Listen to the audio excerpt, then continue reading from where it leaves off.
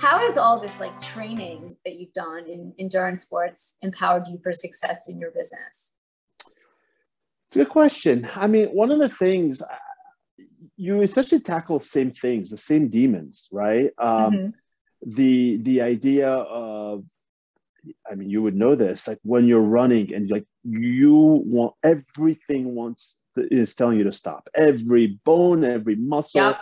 Every brain cell is like stop, stop, stop, stop, screaming at you, and you just don't, right? Because you know you're just one step closer to that finish line.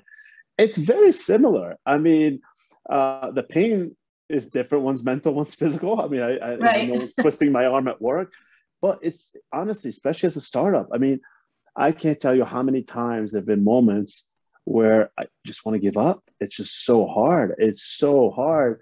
Yeah. And and I think being conditioned, you know, through through athletics to, to not give up, totally transcends. Totally transcends. So that that's one of them. And yeah, also, I'll, I'll say the other thing too is, and this may not be true for you, but it certainly is true for me, and I'd love to, to hear your opinion on it. But uh, the whole idea of ignorance is bliss, where the first race I ever do in a certain course, whether a certain distance, is always my best one.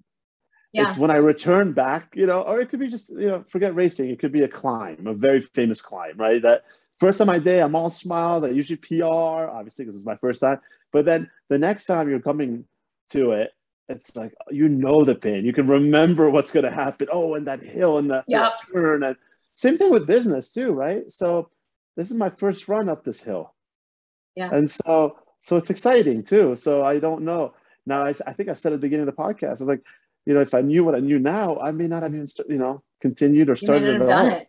Exactly. Yeah. So so I mean, I'm seeing so I, many parallels.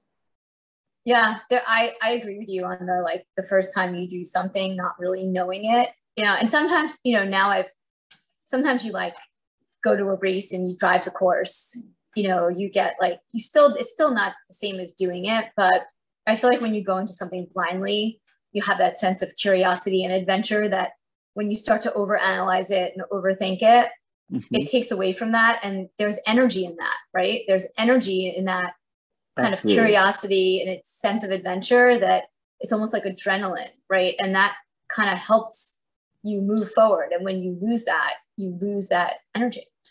You're completely right. Yes.